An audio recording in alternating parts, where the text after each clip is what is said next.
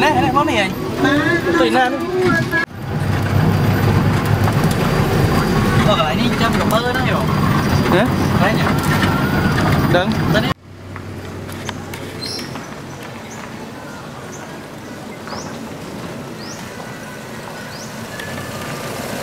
Con cái